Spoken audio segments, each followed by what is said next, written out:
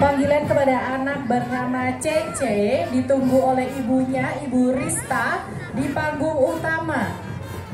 Panggilan kepada anak bernama Cece ditunggu oleh ibunya di panggung utama. Terima kasih. Kita saksikan bersama-sama penampilan selanjutnya dari peserta dengan nomor urut 37 pada klasemen Junior Brass. Berikut adalah